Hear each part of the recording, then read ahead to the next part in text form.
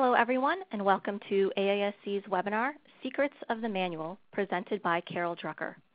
Today is April 27, 2017. My name is Christina Harbour and I am with AISC's Continuing Education Group. I'll be moderating today's presentation. I want to introduce today's speaker.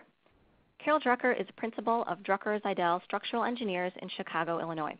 She has worked extensively on the structural design of many connection projects throughout the country and is recognized as an industry leader.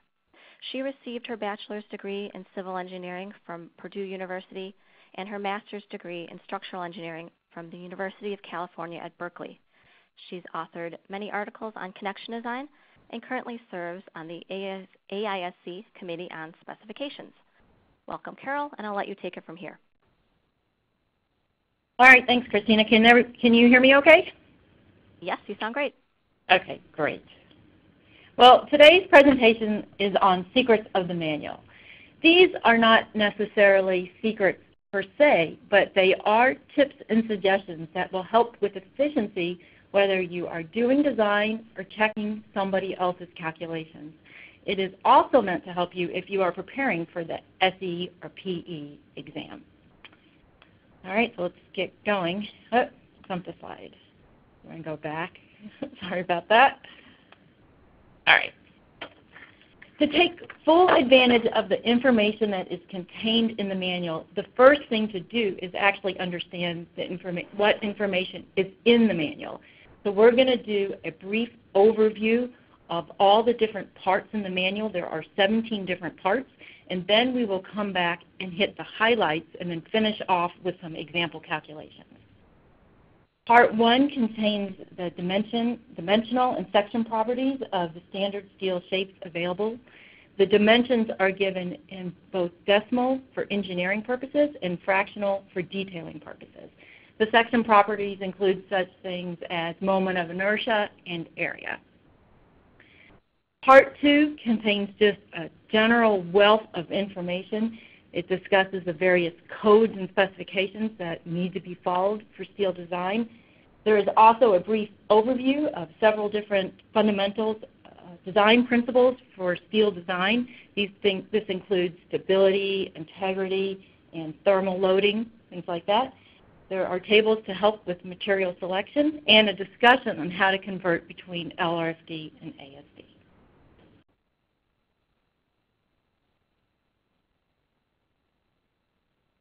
Main member design is contained in Part 3 through Part 6 of the manual. For design of members and flexures, such as beams, that is in Part 3. For members in compression, such as columns or bracing, is in Part 4. Part 5 is for the design of tension members, and members subject to combined forces is in Part 6.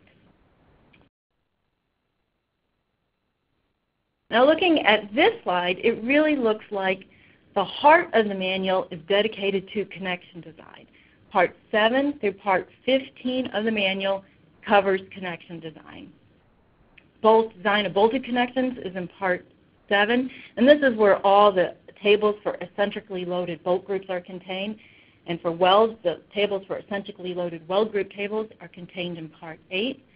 Part 9, Part 9 is actually my personal favorite part of all the parts of the manual. If you're just going to read one, I would suggest to read Part 9.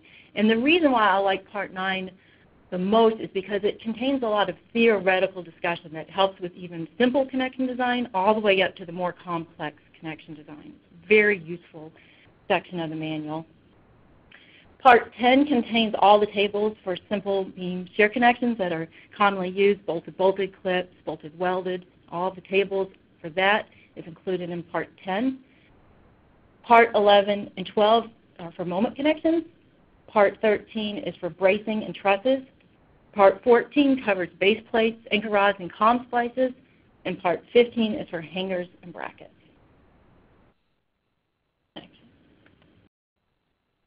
AISC was also nice enough to include three different specifications and codes in the manual.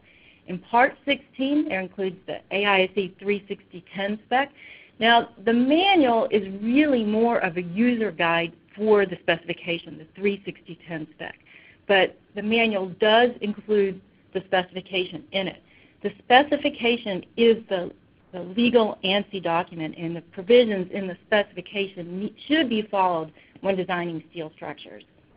For bolted connections, Part 16 contains the RCSC bolt specification along with the code of standard practice.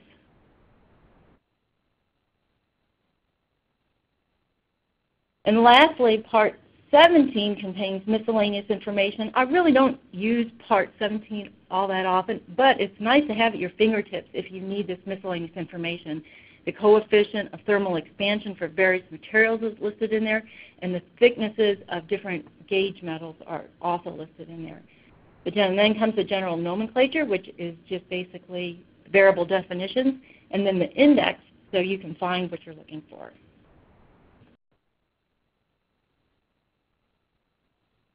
All right, Christina, do you want to Sure, and I take believe it from here?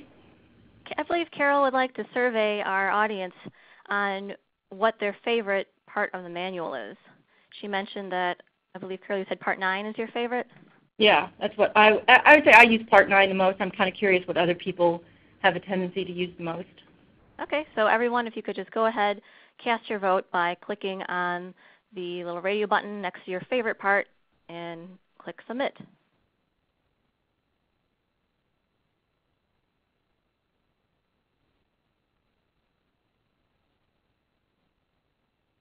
Okay, I think we have a pretty good survey of our audience right now. We'll look at the results. So Carol, it looks like about 40% of our audience really likes part one, dimensions and properties. Oh. Okay, well what's number two? Because we were going to take that one off the list. well, flexural members. Flexural is, members. Uh, very popular and there's also a good number of people that share your opinion of part 9 being the most useful. There we go. Okay, well that is no, we'll see if people change their mind after the presentation. Yes. Okay, all right. Take you back. Okay, part one of the manual is is actually very useful um, to get the section properties. That is the most beneficial part of part one is the section properties. But I actually try very hard not to open the manual when getting the section properties, especially if I am designing in Excel. A way more efficient way to design in Excel is to link your spreadsheet to the Excel database and extract the information. We used to kind of use the VLOOKUP command in our office. And I think over time that has evolved over to the index match. It's a really nice Excel command for retrieving information from the database. And the database, I believe it is free on AISC's website. I know it's on there, and I do I'm not so sure if it's free, but it's at least it's on the AISC website.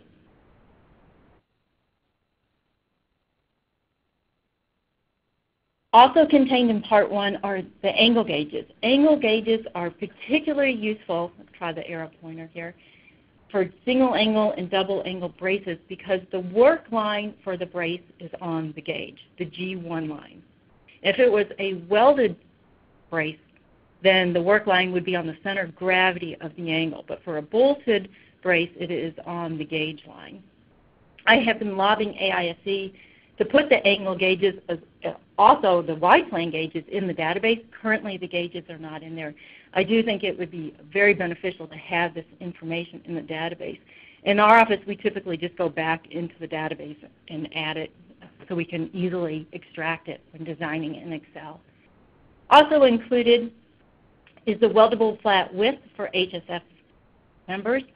Say if we have an HSS column and you need to reinforce the face for axial load, if you put a 7-inch wide plate on an 8-inch wide column, it's very likely that the longitudinal welds right down the side will not be able to be placed because of the radiuses at the edges of the column.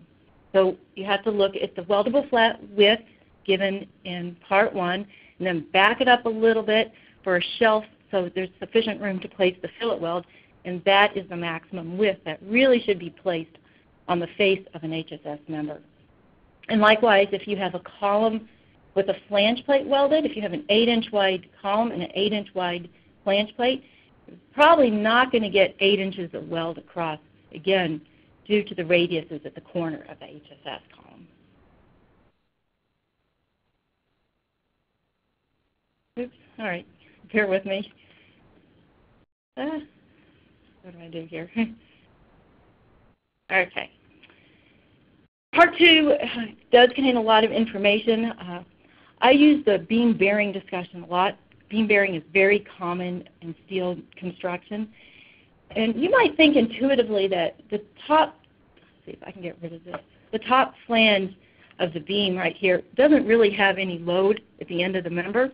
And you might think, oh, it's unloaded, there's no force in there, I don't have to restrain the top flange. But you do need to provide for rotational stability and brace the top flange at the ends of members.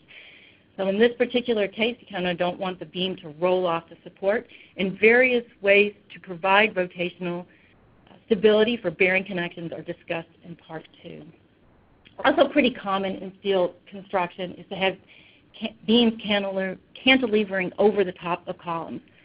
For these types of connections, it's typically preferred to provide a connection between the beam and the column that provides sufficient strength and stiffness per Appendix 6 that both the beam and the column can be considered braced.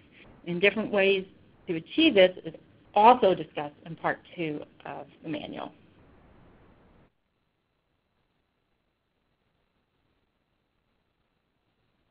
Just to make sure that material is being specified properly, you can go to Table 2-4. The black boxes indicate the preferred material perhaps you're designing a channel and you're not quite sure if grade 50 or grade 36 is the preferred material for channels these days, you can simply look up into the different shapes. You see a C for channels, and grade 36 is still the preferred material for grade 36 chan for, uh, for channels. And then also, you, if you're working with the new A913 still and it's grade 65 and you're not quite sure what FU is, you can simply come into this table, look at FY, and then get, get your FU value. The counterpart for both is in Table 2-6. An example would be for anchor rods, the F1554, grade 36 are preferred. But if you don't have quite enough strength and, you, and uh, it's not preferred to increase the diameter, there's really no problems. You can see that grade 55 is also a preferred material.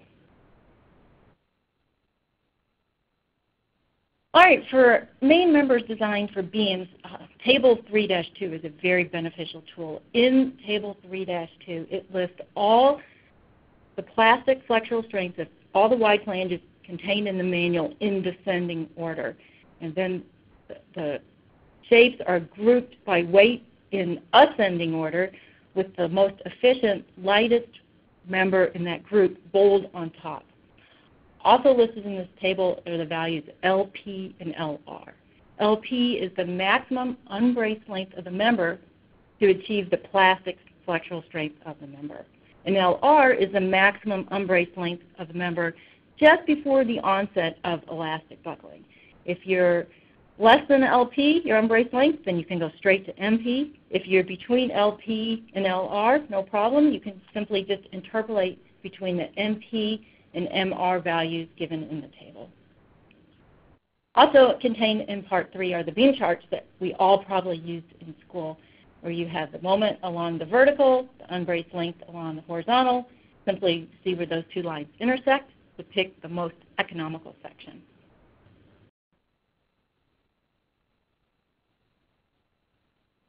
Table 4-1 is useful for sizing columns. It has the unbraced length along the y-axis. If you know the required loading, you can simply come in and pick whatever column size works for the loading. But really more useful in this table are these variables right at the bottom of the table. These variables are used to check if stiffeners are required in the column. For example, you could have a beam to column flange moment connection, and you have to, in that case, you would have to check the column to see if stiffeners are required. We're going to go over this more in detail later, but just by using these variables right here, it's a very quick check to see if the column needs stiffeners. Typically, it's preferred to have clean column shafts and not have stiffeners, not only because of the expense of the stiffeners, but it's also to facilitate erection. If you have a clean column shaft, you can simply just slide the beam down the shaft. All right, typically uh, fabricators provide stitch plates and double angle bracing to facilitate shipping, but if the stitch plates are not provided, in lieu of a double angle, what you really have is two single angles with a reduced strength. So it's very important to remember to check if stitch plates are provided or specify the amount of stitch, stitch plates required. It's really not a problem to do this because in AIC's Table 4-9, it lists the number of stitch plates required to achieve the axial strength of the member.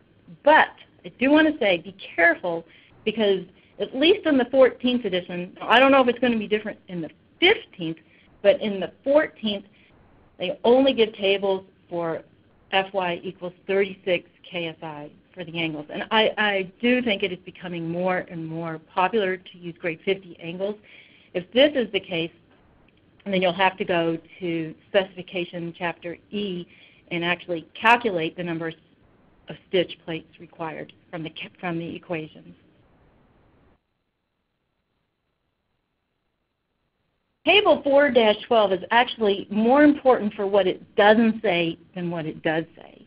This table is an excellent reminder that to be careful if you are using a single bolt. There's kind of two schools of thoughts out there. Those engineers that are very comfortable with using a single bolt in a connection and those who feel like you have to have at least two bolts in a connection for redundancy. If you're going to use a single bolt, in a single angle brace connection, you have to be aware of the implications. In Part E5 of the specification, it gives a simplified design procedure that can be used for single angle members. But to use the, the simplified procedure based on a modified KL over R, the same angle leg at each end of the brace needs to be connected, and, and the ends have to be attached with a minimum of two bolts or welded. So if you're designing the connections and you only provide one bolt, you can no longer include this simplified design procedure and eccentricity, which is neglected in the simplified procedure, now has to be considered about both axes. Now this table does facilitate the design of that eccentricity, but you could inadvertently lower the strength by providing one bolt and not checking for this to see if the angle has sufficient strength. I don't think I would use Table 4-22 when designing in MathCAD or Excel. It's probably a lot quicker just to put the equations in to your whatever you're designing with. But as a quick check, it certainly is very convenient. If I'm checking calculations and I just want to do a quick one, two, three, Enter the table with the KL over R to find the available critical buckling stress. Here's an example of when I would use that table. Say, uh, say I was checking a chevron connection, and I wasn't quite sure if the gusset was thick enough. I would determine my K value from Bo Dowswell's EJ article, uh, third quarter 2012. Really good article on K values for bracing design. Once I know my K value, which in this case is 0.65, calculate KL over R, then I can go back to the table 4-22 and get my available buckling stress and to check my Whitmore. I do want to say that if both these braces were in compression, then probably you shouldn't use a K of, of 0.65. At that point, you can't count on the tension brace to brace the compression brace. But probably then you would want to use more of a, the case for a single-sided brace.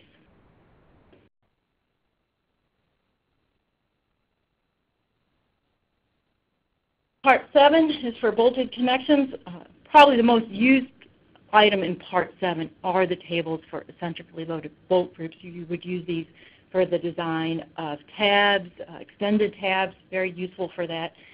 But what I use the most are the tables for the bolt installation tolerances. Table 7-15. Hex head bolts are installed with an impact wrench. And to check for bolt installation tolerances, you can get the socket diameter out of Table 7-15. You can see right in this picture. Simply divide the socket diameter by 2, and that is the installation tolerance that is needed right here. Now, the manual also contains installation tolerances for TC bolts. TC bolts are just a little bit different than hex head bolts. Here in the hex head you can see it has a hex head. The TC bolt has a round head. TC bolts are installed with shear wrenches, known in the industry most commonly called as TC guns. Now, AISC does have tables for installation tolerances of TC guns, but I find these to be a, a bit tedious and difficult to understand. So what I typically do is go to a supplier's website. This one supplier, uh, not promoting anyone, but Heath Mitchell's uh, website, GWY Inc., has a lot of technical literature on various TC guns. You can pull the literature off the website and look at the various dimensions of the TC gun. You can take half the shoulder or look at the socket and take half the socket extension socket diameter. And for your type of connection, once you know the dimensions of the TC gun, you can determine if you have sufficient tolerance to install the bolts.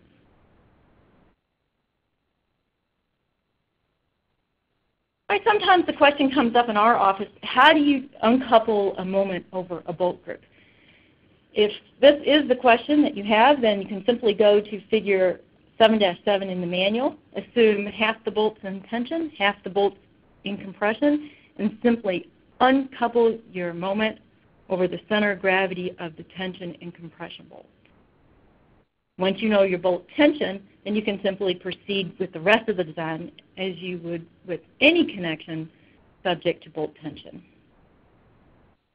All right, just for completeness, I do want to say that the manual also contains figure 7-6, which is based on more of an elastic distribution. When I was giving this presentation at the, the Steel Conference, I was kind of curious. I didn't think anyone, honestly, used the elastic distribution. But in a group of 73 people did say that they, they use this elastic distribution. But as an alternate to the elastic distribution, I would suggest that uh, more of a plastic distribution would be, should be used, similar to how Tom Murray designs plates in Design Guide 4 and Design Guide 6. By switching from elastic to a plastic distribution, similar to what we do to base plates or concrete beams, can be really effective in reducing the bolt tension. And both these design guides are available for free download if you're a member of AISC.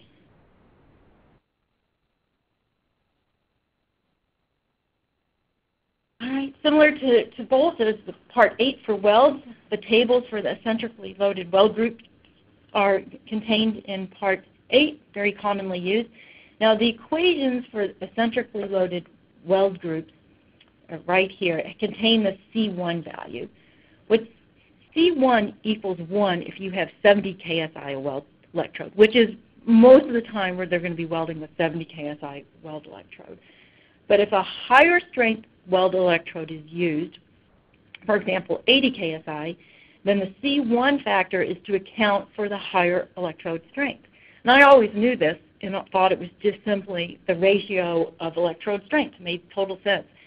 But you can't simply set C1 equal to the ratio of electrode strength because due to uncertainties with extrapolation, there is a reduction factor applied to the C1 values in Table 8-4. So an example would be for 80 KSI weld electrode, there is a reduction of 0.9. So be very careful to pull the correct value from the table. An example where you would use 80 KSI weld electrode versus 70 would be if you have uh, grade 65 steel and you're welding a grade 65 plate and you need to have matching weld electrodes. And that would be an example of when you would use 80 KSI electrode.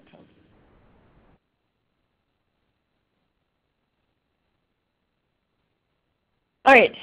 I didn't even know this table was in the manual until uh, I started putting this presentation together. This is on the very last page of Part 8, and I really think it should be moved closer to the front because what a, what a nice table this has. It's very beneficial to see the, the relative cost of different size fillet welds. It lists in this table the number of passes required for various size fillet welds. So you can see the maximum size fillet weld for a single pass is 5 16ths. And Bill Thornton has mentioned this in one of his past presentations that for a 5 16 weld, you can place it in a single pass. And for a 5 8 weld, it takes six passes. So for twice the strength, it's six times the cost. So it's really a benefit for making welds smaller and longer rather than larger and shorter. I guess you know up to a point, right? The table also points out that, and this is true, the, typically the maximum size fillet weld that is preferred by fabricators is 3 quarter inch. After a 3 quarter inch fillet weld, it's commonly preferred to switch the weld over to a, PJP. Prep the plate and provide a PJP weld.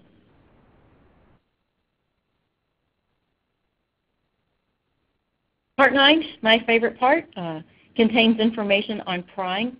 Now prying has changed from manual to manual over the years, and uh, I don't doubt it's going to be changing in the new 15th edition that is due out here any, any day now. But the basic underlying principles have not changed. There's just been some minor changes in the design procedures. Make sure to read the current manual when it comes out or to go over the manual that's required for your specific project.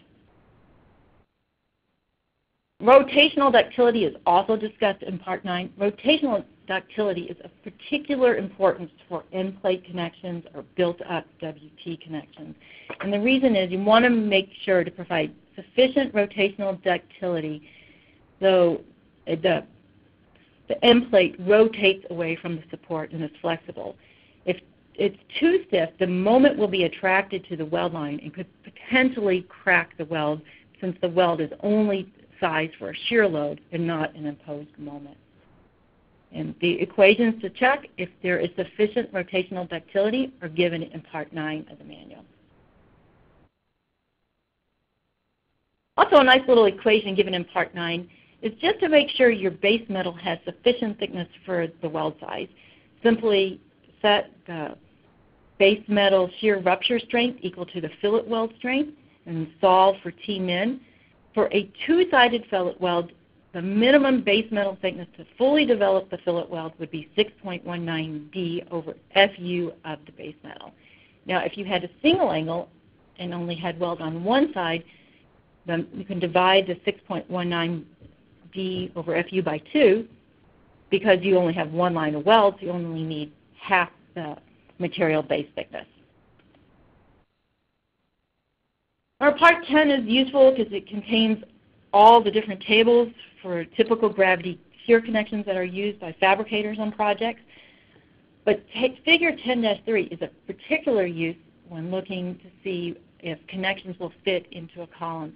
It would be very nice if engineers used uh, only 12 and W12 and W14 columns but on smaller projects or industrial projects where it's preferred to get the tonnage down, uh, typically it is preferred, but what's really preferred to get the tonnage down, W8 columns are generally, uh, or, it's not untypical to see W8 columns.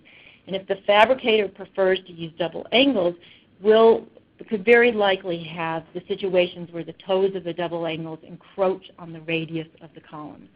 If this is the case, Figure 10-3 can be used to see if the amount of encroachment is acceptable. Certainly take K detailing minus the thickness of the flange, and that is the acceptable encroachment.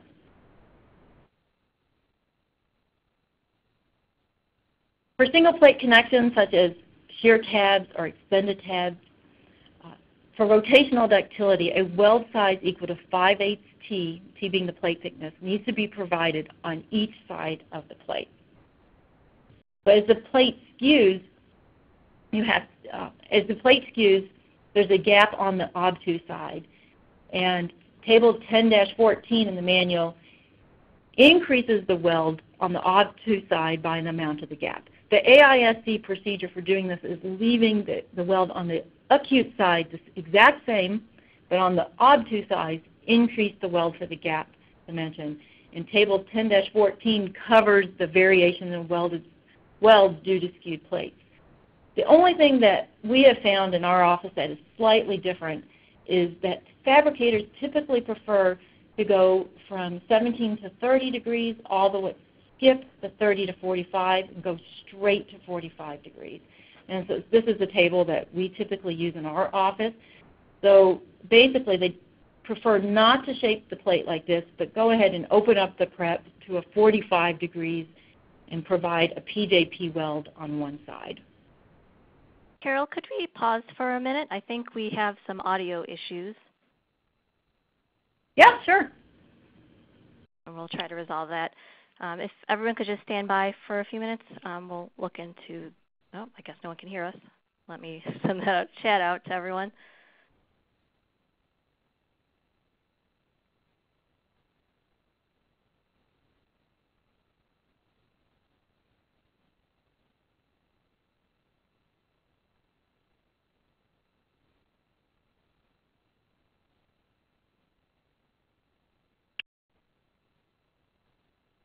Okay, I, I believe we do have audio working, so you can, uh, you can resume. Sorry for the interruption.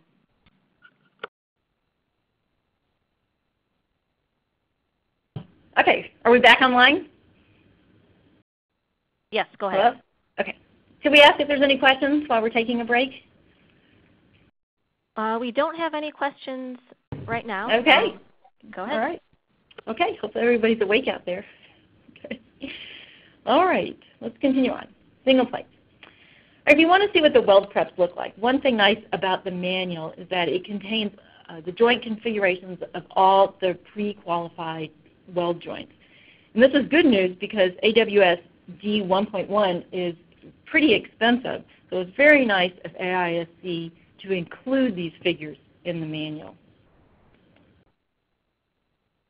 For skewed plates, the manual does kind of leave you hanging for plates over a half inch in thickness. The skewed plate welds contained in the manual only go up to a half inch.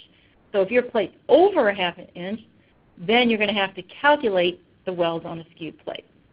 Right? For thick plates, it doesn't take a lot of skew to get the gap over 3 16ths. So if your gap is over 3 16ths, you can't simply add weld to the obtuse side then the plate will need to be prepped in a PJP weld provided on the obtuse side and the acute weld and the fillet weld on the acute side.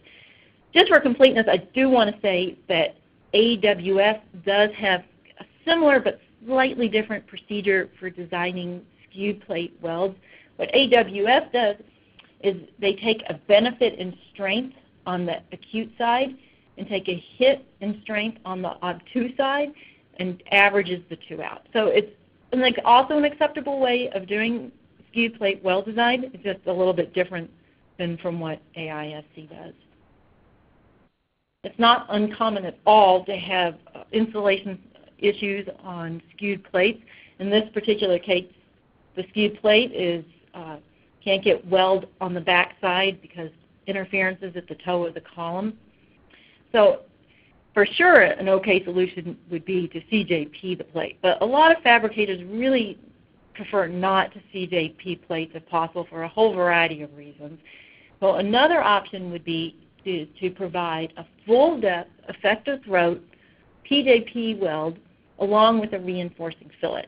Now the effective throat of a PJP weld with a reinforcing fillet is defined as the minimum distance from the root of the prep all the way to the face of the weld. Once you know your effective throat, you can size the weld accordingly.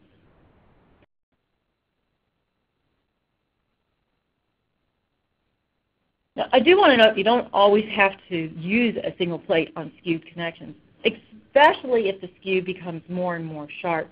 A better option at that point would probably be to use a, a bent plate. But the only problem with a bent plate is the maximum thickness that fabricators can typically bend is a half an inch. When designing a bent plate, both legs are designed for eccentricity about the bend line. A really good discussion on the design of bent plates is in the 2001 third quarter EJ article by Larry Kloiber and Bill Thornton.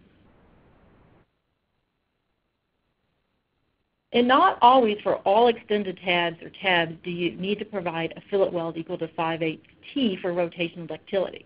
An example of when rotational ductility probably is not required would be at bracing connections and moment connections.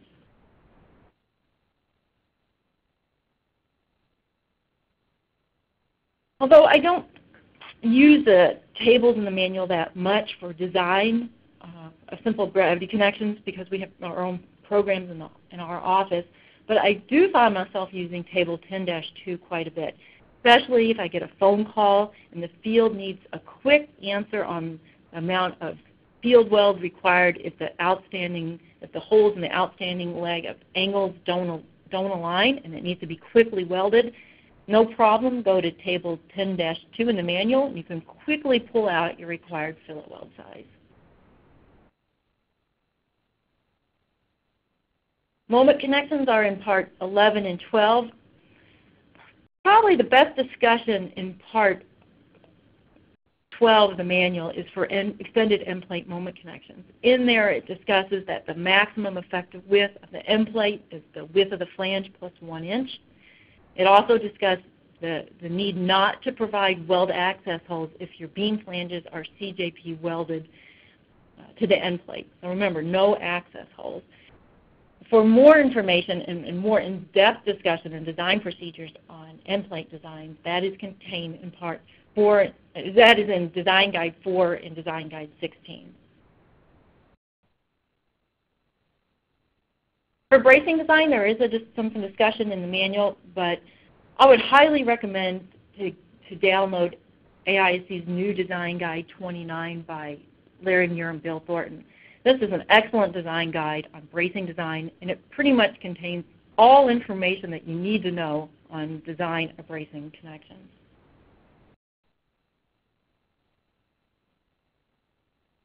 For typical gravity column splices, a, a, contractor on a project should be able to go to, to the manual tables part 14.3 and choose whatever type of bolted or welded column splice they prefer to use on the project. These column splices are more historic in nature and have stood the test of time and should be completely acceptable for typical gravity column splices. Now, if you have an untypical gravity column splice, such as a column subject to integrity loading, then the column splice will have to be designed. I would still use the AISC column splices as a minimum lower bound, but uh, if you have just a typical column splice, you can simply go into the manual and use which one you prefer. At one time we were doing a job up in Canada and the anchor rods and the base plates were all misaligned. And the fabricator told me that they just had this problem on, on every job. So I looked at the shop drawings and I think they were using like typical standard or oversized holes in the base plate. So I suggested that they use the AISC recommended maximum hole sizes in their base plate. I wasn't sure why they weren't using them, but apparently those hole sizes are not in the Canadian manual. So we submitted an RFI to the EOR on that job, and he approved it, and sure enough, uh, all the problems with the base plates went away. So if you can use the maximum recommended sizes, uh, hole sizes in the base plates, it can be very beneficial for aligning your anchor rods. Like this past year, surprisingly, the part of the manual that I, I probably used the most this past year was Part 15. Uh, there's some discussion in there on brackets. We didn't really use the, the discussion on brackets for the design of brackets per se, but we use this for design of such things as partial depth stiffeners or haunches on top of beams. Very useful tool. The design of brackets has slightly changed between the 13th and 14th edition. So it's a very beneficial discussion that's included now in the 14th edition. If you're designing a project with uh, threaded rods, you have to specify the clevis for the end connections. Table 15-4 is where all the different clevis and clevis strengths are listed.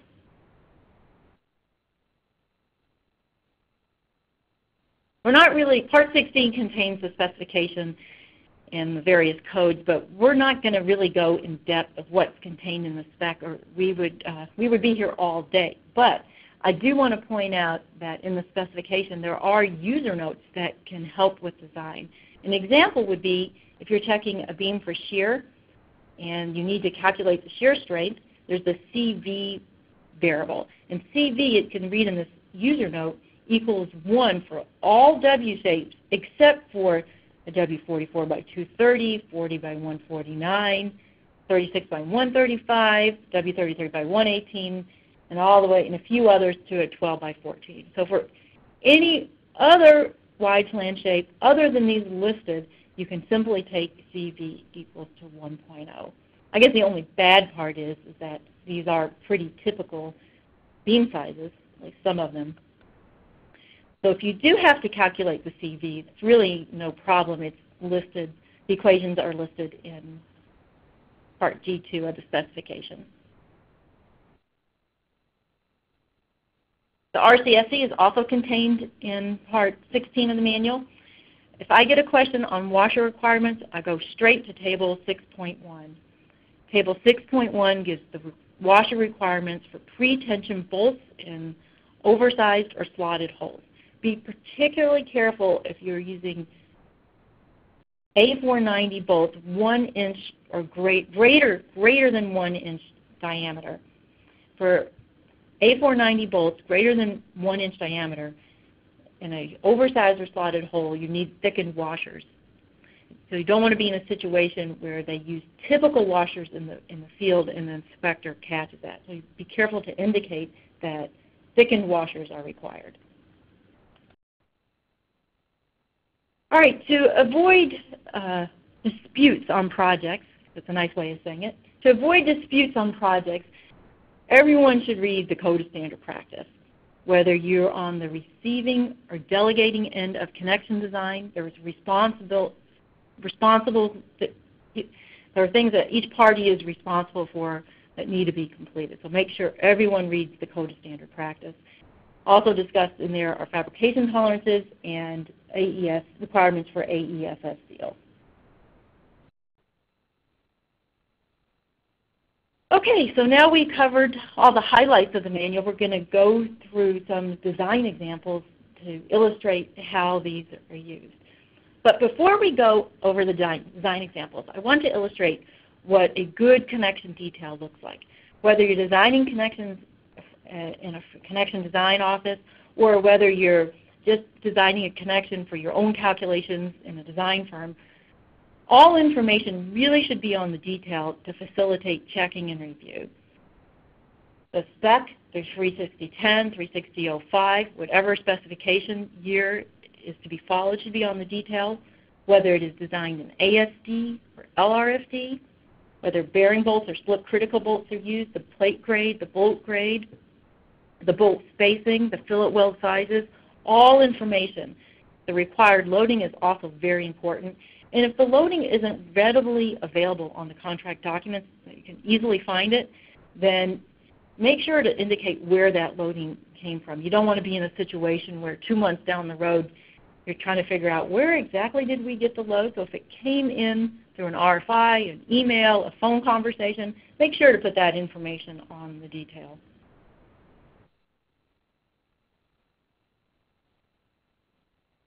Okay, so for our first design example, we have a 14 by 90 column bearing on a W36 beam. We're just going to check the beam for yielding and crippling to see if the W36 needs stiffeners. We have an axial load of 200 kips, and it's coming in 24 inches away from the end of the member. So somewhere between D over 2 to D from the end of the member. First, we're going to check the W36 web for local web yielding. So that's right underneath the flange, yielding of the web right here. To check local web yielding, we use equation J10-3. And the, and the reason we're using J10-3 versus J10-2 is because we are a distance closer in than D over 2 from the end of the member. Right? So the first thing to do is to determine the bearing length LB. The bearing length LB equals the thickness of the web, then we can assume a 2.5 to 1 distribution each side of the column web through the thickness of the bearing plate. So thickness of the column web plus 5t comes to 5.44. That is our bearing length. I do want to say that we kind of borrowed this example from Don Sherman and Jeff Packer. This is a very similar example for bearing on HSS columns. It's just such a good example that I kind of wanted to borrow some of the information from it. Okay, so using equation J10.3, we calculate our, our, our, local web yielding stress, CFY. We're going to do all calculations in LRFD. CFY times thickness of the web of the girder times 2.5K, and that's K design, not K detailing, K design, plus the bearing length LB. And that comes to 279 kips, greater than 200 kips. So, okay. Oh, yeah. So here's what it says um, in the specification. It says when the concentrated force is resisted is applied at a distance from the end of the member that is less than or equal to the distance d, so it's closer than the distance d away, you have to use equation J10-3. If it was further than a distance d away, then equation J10-2 would be used, and this 2.5K would simply be 5K. Okay, next we check crippling, and since we are further away from the end of the member than the distance equal to d over 2, we can use J10-4. Now this is a very long equation. I guess it wouldn't be a problem if you're designing in Excel, but doing it by hand it can be a bit tedious. We have 0.8 times the thickness of the girder squared times the quantity of 1 times 3 times the bearing length over the depth of the girder times thickness of the web over thickness of the flange raised to the 1.5 times the square root of EFY, thickness of the flange, divided by thickness of the web. And what crippling is, is just a little ripple in the web right underneath the bearing point. And this comes to 389 kips, greater than 200 kips. Okay. All right, so that's how you would check it using uh, the equations and the specifications. A much quicker way of going about it is to use table 9-4 in the manual. For checking web yielding, we can just simply use R1 and R2. So the, the web yielding strength is equal to VR1 plus the bearing length times VR2, which equals 279 kips, the exact same value we got before, which is greater than 200 kips. Okay. Now, table 9-4 is for the worst case scenario. And the worst case scenario is that you're right at the end of the member because AIC is going to produce a table they have to produce it in a more conservative way, so right at the end of the member. But since we are at a distance further than d over 2 away from the end of the member, we can multiply the crippling strength by 2. So to check crippling, it's VR3 plus the bearing length times VR4, then times 2 because we're at a distance greater than d over 2 from the end of the member. In this case, that comes to 389 kips, greater than 200. Okay, the exact same value we got before. Now, in this particular example, we're going to check if a column needs stiffeners for a beam moment connection to the column flange. We have a 14 by 90 column with a 24 by 55 beam with a 300 kip foot moment applied.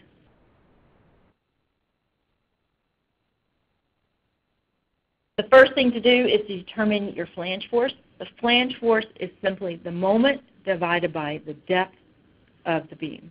300 kip feet divided by 23.6 inches is 153 kips. All right. Similar to the example we just did, we're going to check local web yielding right behind the flange plate. And now we're away from the end of the member, so we get to use equation J10-2, and that comes to 161 kips, which is greater than the flange force of 153. We are okay. The same equation we just used for crippling, we now use that again, equation J10-4, and that comes to 192 kips. In this particular case, the bearing length is just simply equal to the thickness of the flange plate. All right, so if you have beams on both sides of the column and the flange at the same elevation, both flanges at the same elevation are in compression, then you have to also check web buckling of the column. Now this would not apply if you only had a beam column on one side. It has to be on both sides of the column. and both flanges need to be in compression. Checking web buckling using equation J10.8. It's just 24 times the thickness of the column web cubed times the square root of E over Fy of the column divided by H. And H is the clear distance between the radiuses, so D minus 2K design. And that comes to 194 kips, which is greater than 153. Okay. Next comes local flange bending. I'm almost afraid to say this, but I'm going to say, if something's going to fail, it's most likely local flange bending. I would have said before one of our recent jobs that web buckling would never control. But uh, if you have a deep column such as a W24 or W36, then I have seen web buckling controlled, but it's very rare for W12 and W14. But that's going to control. Typically, flange bending is going to control, but you still have to check all the limit states. If you're going to check one real quick, this would be the one to check. Now this is only applicable if your flange is, is in tension, right? Not applicable for compression, only for tension. And for a more detailed discussion on this particular limit state, Omer Blodgett has a really nice read in the design of welded structures. It goes into an in-depth discussion on, on the derivation of this equation.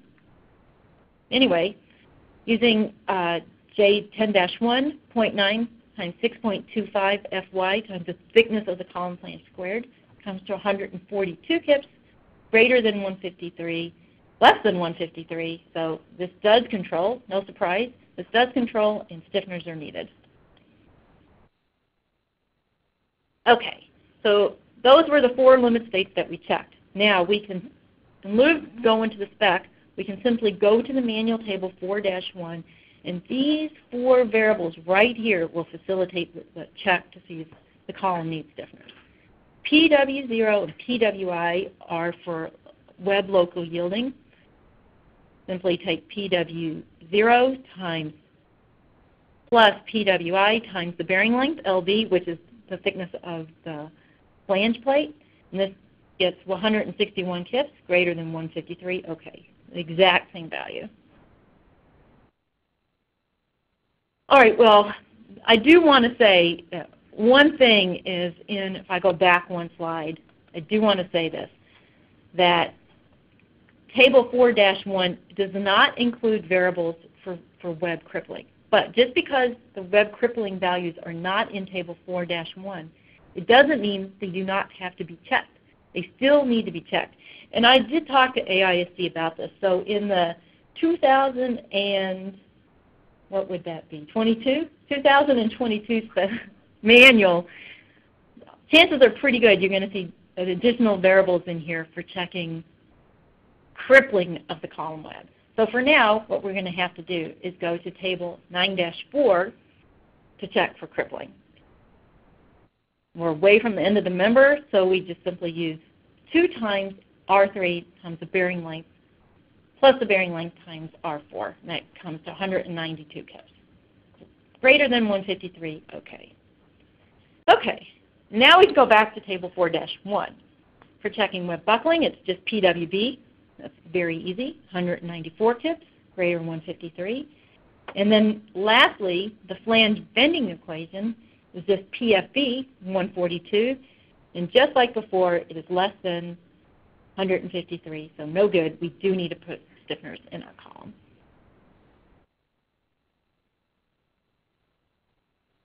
Oh, question time. Okay.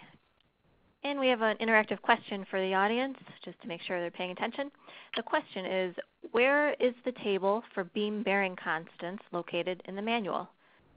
For the beam bearing constants, can you find that in Part 3, Flexural Members, Part 4, Compression Members, Part 9, Design of Elements, or Part 10, simple shear connections. Give everyone a few minutes to respond.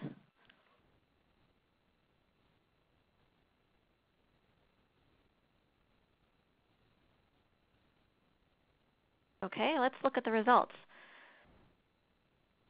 So Carol, it looks like most people think that they can find the beam bearing constants in Part 9 of the Manual Design of Elements. Is that correct? Yeah, that's correct. Excellent. Um, and I'll take us to the next slide. Well, yeah, part the ones who answered part four were also technically correct too, I guess. That's true. Okay, so we'll give it to everyone. All right, when, when using the, uh, the tables in the manual, it's actually very important to read the brief introduction to the table and the description of the table before the table that is given in the manual to just make sure that you properly understand the information contained in the table and that you are using it correctly. An example of this would be when using the UDL tables. First we're going to go through how the UDL tables were derived, and then talk about the discussion of the UDL tables. What UDL is, I mean I would like to, use, to set up a poll asking how many engineers are using UDL right now. Uh, I, since we're not prepared to do that, I'm just going to guess about 20%. I don't know, maybe 10. Craig's saying lower 5. Okay. What UDL is, it's the total distributive load that a beam can support to equal its full plastic flexural strength, assuming it to be completely braced. So what's sometimes done in our industry is that we take this total UDL load, U, W times L, and take a certain percentage of it for the end shear reactions. All right? And we're just going to go over an example of how the manual calculates these values. We have a, a 14 by 22 that is 20 feet long, and we're going to calculate the shear reaction based on 50% UDL. So that is 50% of the total distributive load that that beam can support based on the full plastic strength of the member for a span of 20 feet.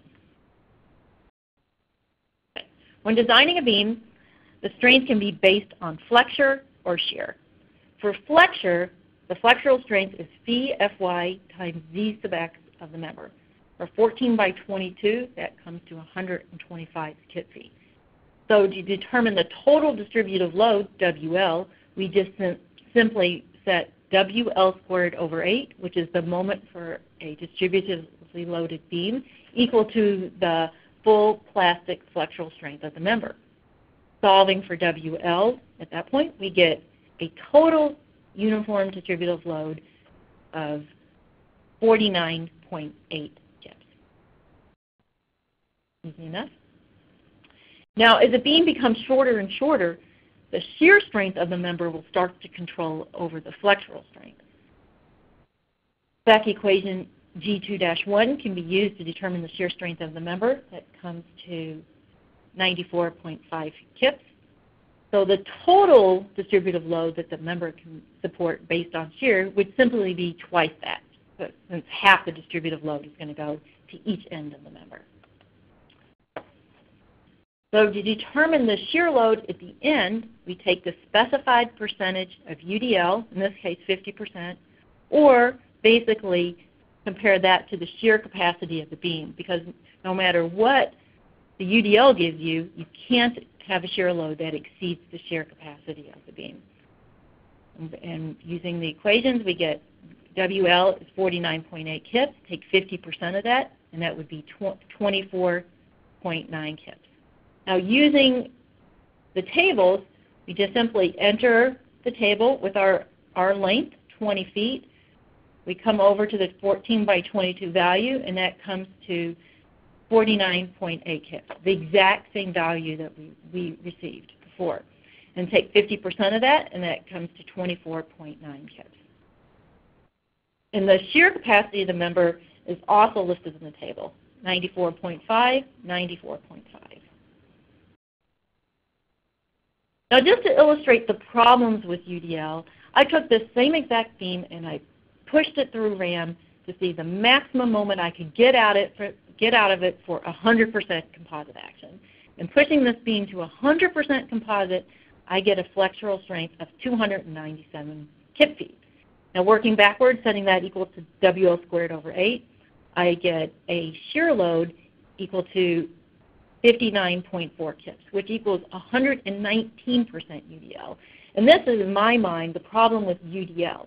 It might work okay for buildings such as industrial buildings where there's not composite members, but on commercial jobs where you have uh, composite members, it's, I think it's really just a guesstimate what the percent of UDL is. I've seen it 50, 60, 100, 200. It really is uh, kind of an iffy way to go. In this particular case, you would be at 119% UDL. And I'm not suggesting by any means that engineers start using 119% UDL for composite beam design. I mean, that would just kill a job. But I just want probably a better way to go for composite beams would be to, to give the actual shear loads or a shear schedule. Either one of those would work. Okay. Um, in this particular case, this beam was sized based on shear load. The beam has a, a reaction coming in from a column, and the, the shear at the end of the member is actually equal to the shear capacity of the member. And this gave a UDL of 190% of UDL.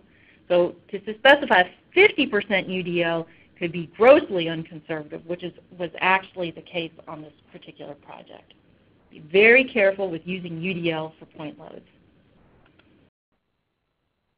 Right, in the connection world, it's not uncommon to have to work backwards. A fabricator has its list of preferred connections that they want to use on a project. And we have to work backwards to determine the minimum flexural, the minimum L, the shortest possible beam length that can be that the beam can have so the UDL does not exceed the strength of the connection. It's just kind of working backwards.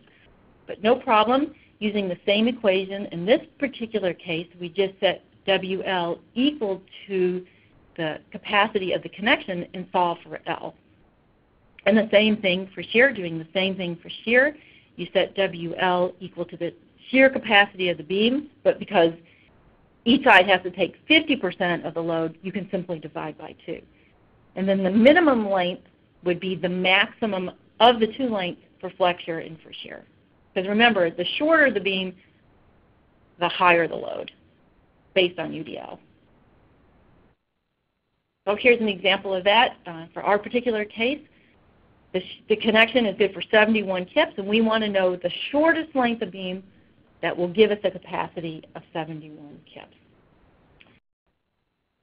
First, based on flexure, using the shear capacity for WL, working backwards, that gives us a minimum length of 7.04 kips. And then we do the same exact thing based on shear. And again, 50% has to go to each side. So we simply divide by 2. And WL just now equals the shear strength of the member. And that comes to 5.29 feet. So we take the maximum of the two, which is 7 feet. Now just to check that we did everything correct, we can enter the table with 7 feet Come over to the UDL, which is 142, and simply divide it by 2 for 50% UDL, and that will give us 71 kips, the exact strength of our connection. So this works out pretty good.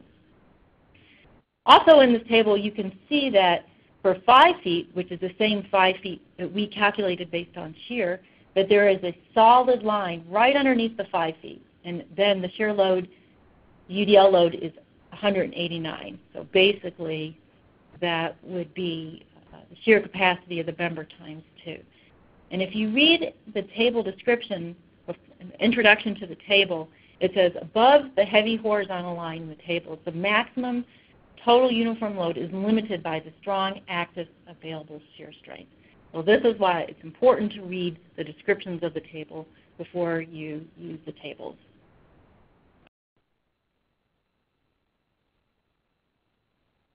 Okay, next we're going to go over an example using the instantaneous center of rotation.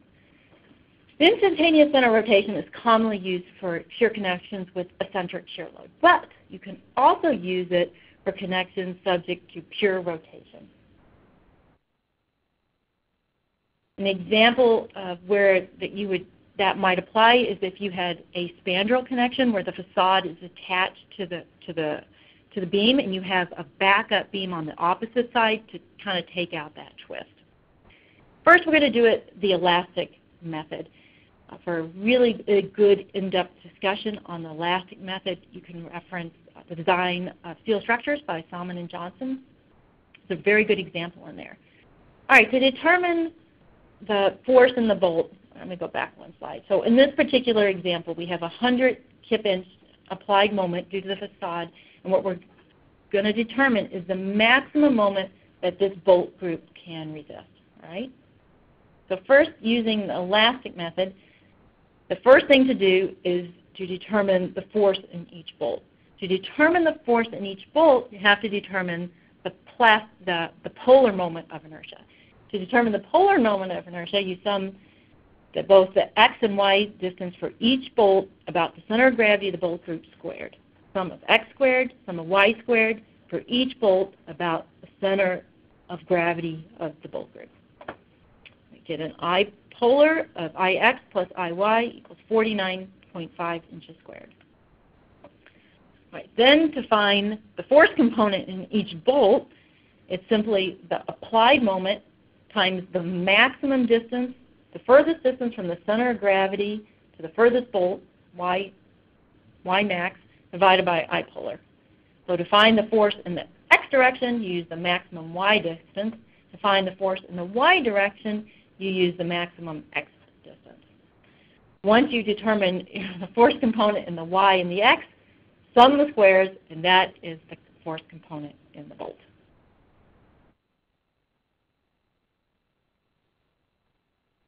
All right, then to determine the maximum moment, simply take the applied moment by the ratio of the bolt shear capacity over the actual force in the bolt, and that comes to 360 kilonewtons. Whew. Okay, so that was three pages of calculations. Now, in lieu of three pages of calculations, we can do three lines of calculations. We can simply take the C prime value in the tables. Now this method uses the instantaneous center of rotation for pure rotation. Can take the C prime right out of the manual, equals 15.8. And the maximum moment that bolt group can resist is simply C prime times the bolt shear strength, 24.3, which comes to 384 kip inches. So not only is it significantly less calculations, you get a great, there is a greater strength out of the connection. So this is definitely the way to go. If you're curious what C prime equals, you can actually calculate it using manual equation 7-21. It is kind of interesting to note for facade connections like this, uh, spandrel connections, that the moment applied due the, to the facade should act opposite the moment due to gravity in the, the backup beam. The facade moment would cause tension on the top flange of the backup beam, and gravity due to an extended tab connection would cause compression on the top flange of your backup beam. But if you just wanted to be conservative and simply add it all up and then be done with it, you can certainly do that. Uh, another little shortcut for this type of connection is to simply just increase the eccentricity for your gravity load by the distance of the facade moment divided by the shear in the beam. It's that increase in eccentricity. The only problem with this is if the shear load becomes very, very small, the eccentricity can become very, very, very, very large, and it can throw you off the tables in, in the, that are given in the manual for eccentrically loaded weld groups, for bolt groups. So if this is the case, and then you have to go back and use the C prime value. Also, I do want to note that extended tab configurations for these spandrel connections are not always necessary. It is commonly preferred by fabricators just to simply cope out the beam if the beam has sufficient strength and use a full depth tab. Okay, so in this example, we're going to pick a, a clevis for a 2-inch rod that is at full strength. To determine the, the tensile capacity of a threaded rod, we use the gross area of the rod. Just pi d squared over 4 times 0.9 Fy of the rod comes to 102 kips. Enter table 15-4, and we get a capacity for a number 6 rod of 135 kips. Okay.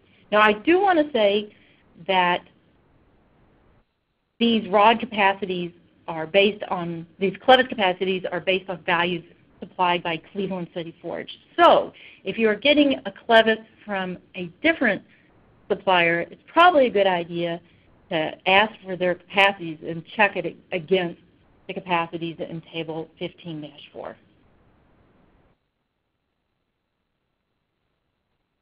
This is an actual example from a project we were on where a detailer asked if a connection could fit into a W8 by 28 column. What we did is go into figure 10-3. An encroachment is simply determined from K detailing minus thickness of flange. So the acceptable encroachment in this particular case would be 3 16ths of an inch. So the maximum acceptable width would be the T dimension of the column plus 2 times encroachment equals 6.5 compared to our actual width, which is 7, 6 and 7 sixteenths, okay. But I do want to say that it is possible that the column does underrun by up to a quarter inch. So if this is a concern, if underrun of the column is a concern, then you probably want to take off an eighth inch each side. And then the, only, the maximum acceptable encroachment would only be about a sixteenth of an inch on each side. So if this is a concern, make sure to include the underrun dimensions. All right, just because the SE exam isn't all connection related, we're going to go over a few main member examples. I do not know what is on the PE or SE exam, but these type of examples are excellent to study for your test. In this particular case, the little twist or the trick of it is that there is a floor opening at grid B1. So when sizing the column at grid B1, you have to remember that the column is unbraced in the strong direction at the third level. We're going to determine the capacity of the column at grid B1. Hey, Kristen, do we only have 15 minutes left? Yes, if you could um, wrap up in 15 minutes, that'd be great. Yeah. Okay, so we're going to wrap it up. We're going to, we're going to kick it up a notch. Okay. In this particular case, we have uh, Lx of 30 feet and Ly of 15 feet. The first thing to do is to set KLX over Rx equal to KLY over Ry. From this, we can determine our equivalent KLY.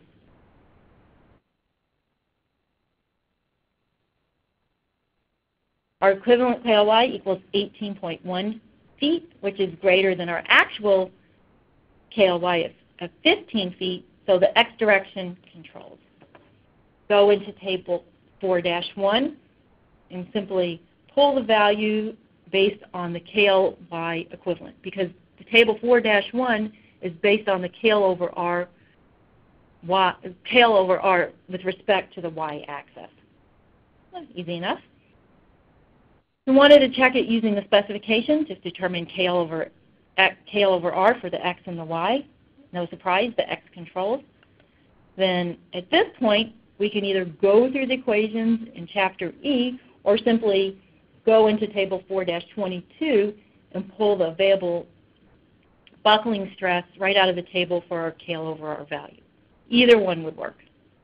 In this particular case, we get 35 KSI, which is the exact same value in Table 4-22, and we get a strength of 927 K.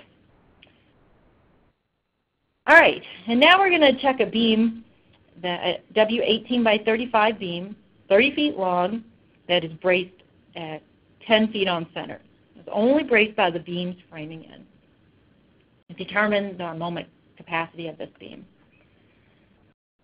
All right, we just simply go into table 3-2, and it looks like we're braced at 10 feet on center. Now, if LP for an 18 by 35 was 10 feet, we could simply select MP and be done with it.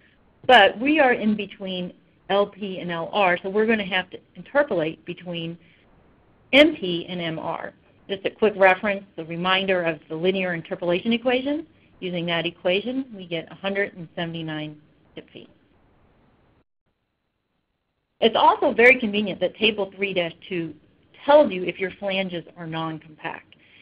If they are non-compact, there's a little footnote F that's given in the table. And the plastic flexural strength of the member needs to be reduced. But that reduction is already included in Table 3-2, so no further reduction is needed.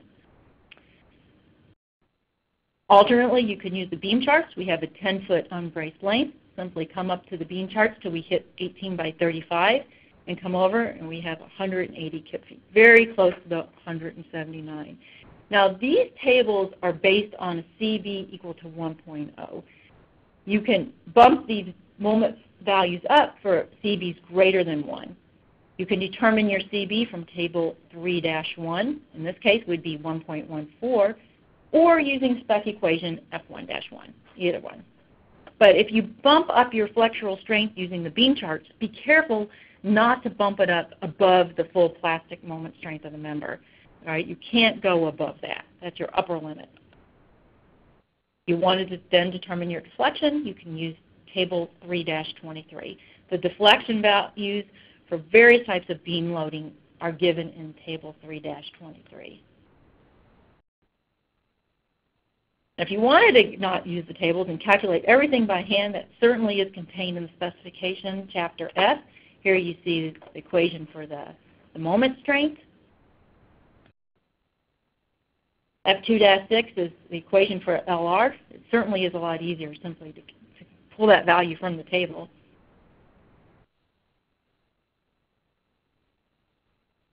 And equation F-3 gives a reduction if you have non-compact flanges. F3-1 is for non-compact flanges, and F3-2 is for slender flanges.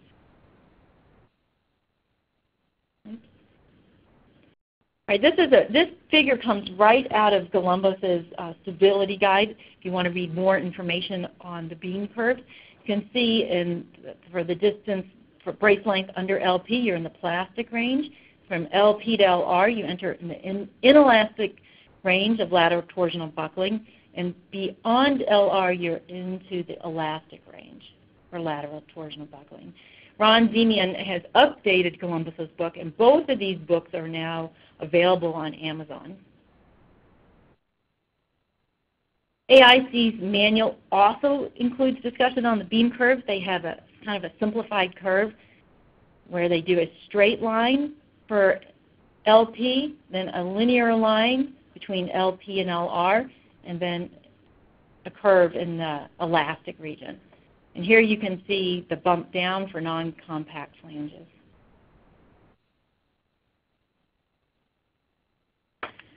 Okay, so in our last 10 minutes we're going to go over an example of how to design composite beams. Uh, a couple months ago I got a phone call from a fabricator asking me how to use the composite beam tables in the manual. And I had to tell them that I had no idea how to use those tables in the manual. So this, this example is in there for, for that particular, in here for that particular fabricator. Once you started reading on how to use the tables in the manual, it's really easy to use them. You just kind of have to, to get over the learning curve on how to use them. In this particular case, we have a 16 by 26 that spans 30 feet, and we have 3-inch deck with 3 inches concrete on top. F prime C equals 4,000 KSI and 3 quarter inch diameter studs. Whether using the equations in the specification or using the tables in the manual, either way, this is the very first step that needs to be done. You have to calculate the effective width of a concrete slab. There are three equations to be used on each side, the length over 8 each side, half the distance to the center adjacent beam, or the distance to the edge of the slab. In this case, uh, the first one controls, we take twice 45 inches, that equals 90 inches. That's the effective width of the concrete. In this particular example, we're just going to stick with 100% composite action for now. If you have 100% composite action, you will either have a neutral axis in the concrete or in the steel. To see where the neutral axis is, you have to check the strength of the concrete and compare it to the strength of the steel. The full strength of the concrete is, is 0.85 F prime C times the depth of the concrete times the width equals 918 kips. And the full tensile strength of the steel is 384 kips. So we know the steel controls and the plastic neutral axis is in the concrete. For 100% composite action then, we would size the stud for the tension strength of the steel, 384 kips. To determine the amount of studs, we can use spec equation I-18, which is given right here. It's 0.5 times the area of the stud times the square root of F prime of C times E, but not more than RG, RP times the area of stud FU, where RG equals 1 if you have one stud per rib, 0.85 for two studs per rib, and 0.7 for three or more. And RP equals 0.6 if your stud is in the weak direction, and I would always just assume the stud is in the weak direction because you really don't know where the stud is going to be placed. So I would just leave RP as 0.6. We get 17.2 kips per stud.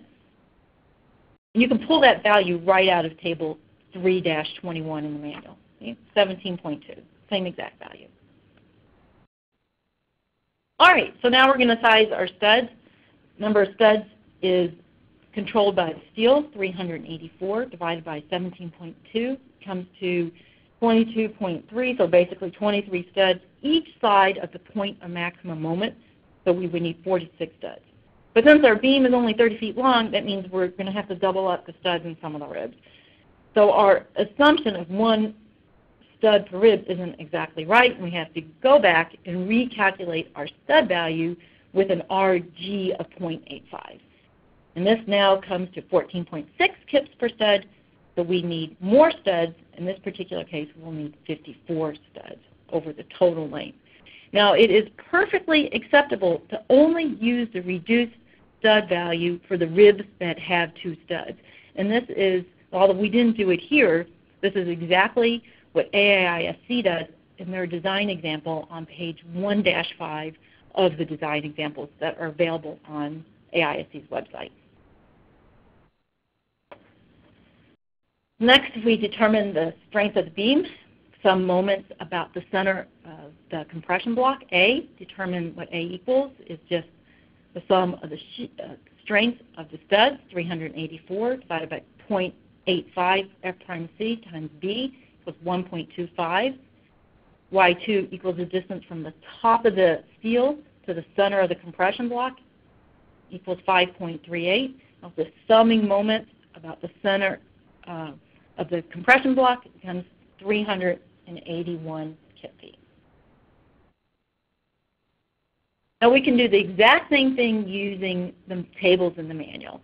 The tables in the manual include this Y1 value, which is the distance from the top flange to various possible plastic neutral axis locations in the steel. 1 through 5 are in the flange, 6 is in the web, and 7 is in the web. 7 represents 25% composite action. Although not included in the specification, it's not a spec requirement, it's kind of the current state of practice to not to design beams not less than 25% composite. And the reason of, for that is that there's simply just too much slip that is needed to activate the studs. In our case, our, we know that we are at uh, the, the concrete controls, we're at the top of the flange, we're at point zero. Here is our stud shear capacity, which is 384 kips, which is controlled by the steel. Our Y2 can be determined based on a, we previously did that, is 5.38. So we're, we know we're in the top row, y1 equals 0, and we know our y2 equals 5.38, so we have to interpolate between the moment strength given for a y2 of 5 and 5.5.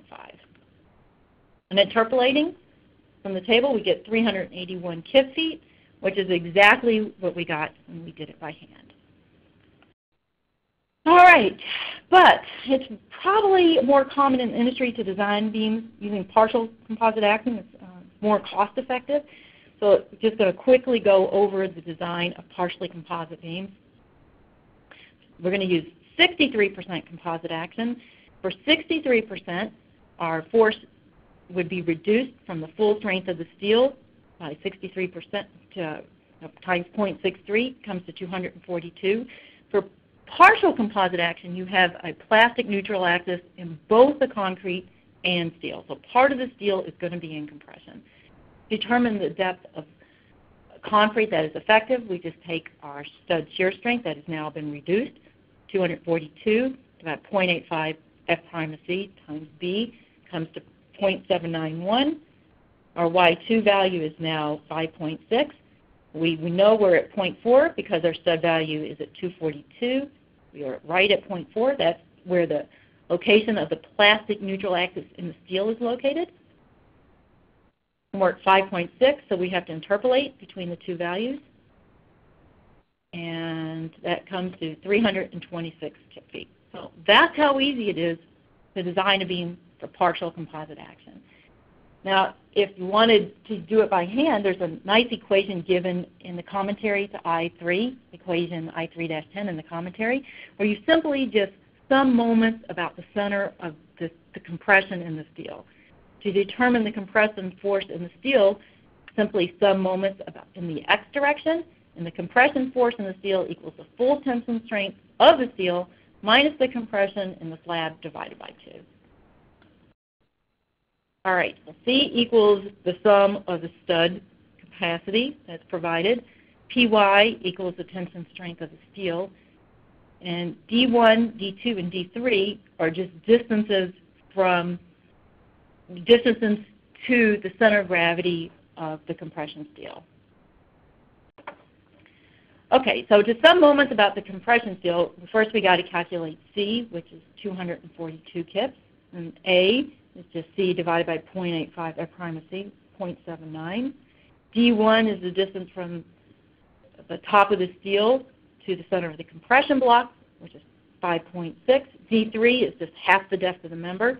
Now D2 is critical to calculate. D2 is the distance from the top of the steel to the center line of the compression force in the steel. This is our equation right here uh, for the compressive force in the steel the total tension strength of the steel minus, by, minus the compression force in the concrete over 2. That gives us our force divided by B of F, the width of the flange, Fy of the flange, then over 2 because we're going to the center, and that says 0.1, 0.129. So we're still within the flange, so that's good. Otherwise, we'd have to revise the equation. And now we simply sum moments about the center of the compression force in the steel, calculated all our D distances, and that comes to 4,351 kip inches or 326 kip feet, which is the exact same value we got when we used the table. Now, we're going to calculate the number of studs. And let's go back to assuming we get a stud per foot. So 0.63, because we're 63% composite, times 384 divided by 17.2, assuming one stud per foot, comes to 14.1, so 15, so 30, 30 studs. And since the beam is 30 feet long, it should be okay. If you wanted to be a little bit conservative, you could use the lower value. All right, so finished, I guess, on time. so just to hit the highlights, be familiar with the information contained in the manual. Use the database when possible, very efficient. Read the descriptions of the table before using the tables just to make sure you're using them correctly. Include all design information on details to facilitate review, just makes checking that much easier. And use the ma manual, information in the manual for efficient design. All right, that's exactly an hour and a half, right? Okay, thank you, Carol. Um, we still want to get a few participant questions in here. I'm sorry we're running a little bit long, um, but we have time for a few questions. I'll get right to it. The first question, I'll take us to slide 36. The question is, is encroachment applicable for end plates as well and not just double angles? Yes. So, uh, do I have to repeat the question or no? No, no. Oh, okay.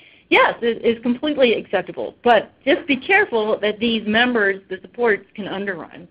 So you have to be, if that is a concern, uh, just remember that. But yes, it's completely acceptable to use this for end plates. Okay, thank you. And the next question, I'll stay on the slide. Um, in the upper right here we have uh, a double angle connection. And the question is, are there provisions for determining the axial capacity of the clip angle connections in Part 9 of the manual? Well, yes and no. Okay, so for, if you were going to a column flange, you could use Part 9 of the manual and check prying of the angles. But in this particular case, you have to be very careful because you're going to a column web. And the column web is incredibly thin and, well, it could be, it could be thin. In this case it is. And it's going to have very limited capacity to actually develop that cube prying force. So in that particular case, I don't think I would allow the angles to pry. They could still bend. And then you have to also check the column web for a yield line analysis.